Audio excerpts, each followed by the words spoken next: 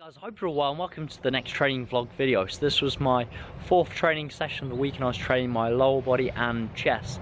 Now before I show you the training footage, something else I've spoken about on Instagram this week that I wanted to share on YouTube and that is something that not a lot of people talk about and that is sodium intake and how it can have an impact on the scale weight. So this will be worth investigating, especially if you're starting to see some freakish wanes. For, for whatever reason, there's certain days you're significantly heavier than others, but your calories and macronutrients and training are staying the same. So in short, if your sodium intake is too high, this can cause water retention. Therefore, this can have an impact on the scale and pretty much play havoc with your measurements as well.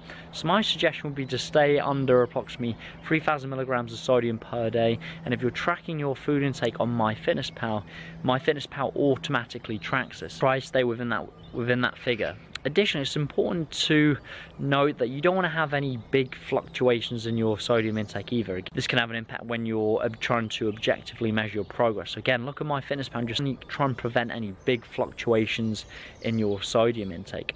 Additionally, something else that's important to consider is potentially doing a seven day weigh-in. If you're starting to see some inconsistent reasons, you're not sure why, instead of just weighing yourself once a week, focusing on weighing yourself every single day for seven days and then divide that total figure by seven. And that'll basically give you your average weight for the week. And this can be quite useful especially for females because of water retention because of their menstrual cycle. It can allow you to be slightly more objective. It's not always necessary and I don't always use this with the majority of my clients but if you're starting to see some inconsistent readings can be worthwhile doing a seven day weight weighing yourself every single day and then divide that total figure by seven. So hopefully that's been useful. Enjoy the training footage and I look forward to speaking to you soon. Take care.